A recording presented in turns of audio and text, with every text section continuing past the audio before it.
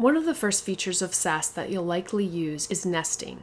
It's a natural first step into what Sass can do, and while it may look a little odd at first, it won't take long to get used to. We're going to go ahead and we're going to format this page with some CSS. I'm going to go into my Sass file, I'll get rid of this body background red, and we'll start off by making a rule on our container. So I'm going to write hash container and then I'll hit return. Because I've already saved the file as Sass, brackets is already recognizing the indentation that is necessary to create a Sass file. If you're not using brackets and you're using some other editor, you're going to need to be mindful as to your indentation because Sass does require the appropriate indentation. The first thing I'm going to do is I'm going to add a font family and I'll be using Barlow and then defaulting to sans serif. This is a Google font and if you recall in my HTML file I already added a link so that I had access to this particular font. I'm going to hit return and add a couple of other rules. We're going to specify that this page has a max width of 800 pixels Another thing that we need to be careful of when we're writing with Sass is we need to make sure that we have this extra space right here. And I added a semicolon here. Sass doesn't need the semicolon, so we just put new declarations on their own lines. I'm going to also add a margin of zero and auto here. And again, be mindful of these spaces. If I didn't have a space there, I would go ahead and get an error. Let's actually leave that there and let's save. And right away, I'm going to get an error message. So the error message is from Koala and it's letting me know, hey, this property is not going to render. So what I'm going to have to do is go back into my file and if I add in the appropriate spacing and now save, that error goes away. If we look at our page in the browser, you'll find that now the page is rendering with the appropriate font family that I've specified. Let's add some additional styles. The next thing that I'm going to do is I'm going to begin by styling out the form element. I have this search box here and I want the search box to look different. I'm going to create a bunch of styles so that I can modify this and customize it. I'm just going to review the HTML so you're familiar with what I've done. I have a form tag that's wrapping around two input tags. The first one is an input tag that simply is going to be a text box that is going to display the area where the user would type in whatever it is that they're searching for. Then I have another input field, which is the button. This is the go button that the user will click once they've typed in their search. This second input element is wrapped inside of a span tag with a class of wrap. And in addition to the input tag, I have an additional span tag that is creating this font awesome caret left. So that's the little arrow that I'm using right here.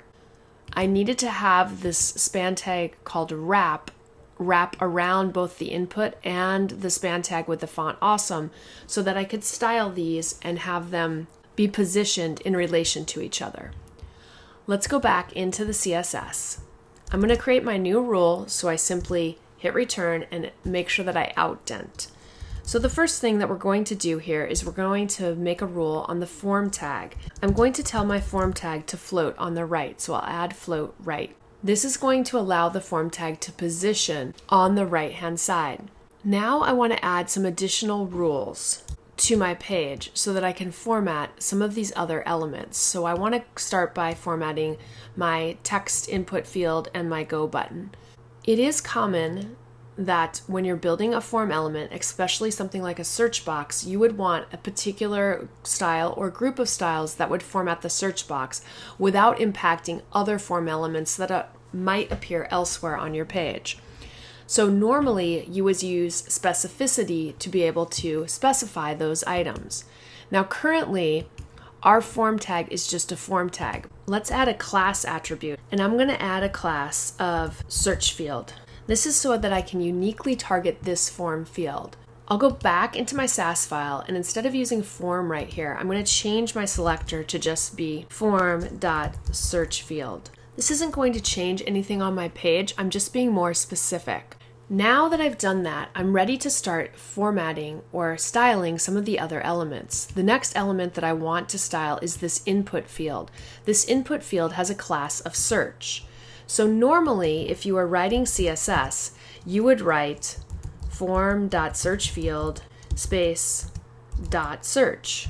And you would want to be more specific so that you could specify With Sass, you can use indentation to your advantage. And indentation is great because it helps your CSS to be much more readable and much more clean. I'll hit return, and instead of writing another property, I'm going to write my selector, which is dot search. Now when I hit return again, you can see that my blinking insertion point has already been indented. And if I go ahead and write the new rules that I want, we're going to be changing the padding, the background color, and the border. Those will all be indented like so. If we save our file and we go look in the browser, you can now see that my search box has been formatted with this background color and there's some padding that's been added on and I've removed the border. Now, let's take a quick look at the CSS.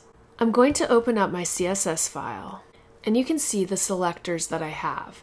I have form.search field, open curly brace, float right, and then close the curly brace. And then it's already indented this, but this is actually a new selector, form.searchfield.search. I didn't write that selector name. It was generated via the sass and the indentation. So when you indent, it's going to use whatever the parent item is as part of the selector. So that will be added first.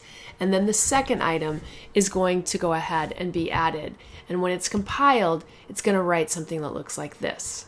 So now I want to add another selector. I'm going to outdent, and this is going to be for the dot button item. So I'm going to write dot button.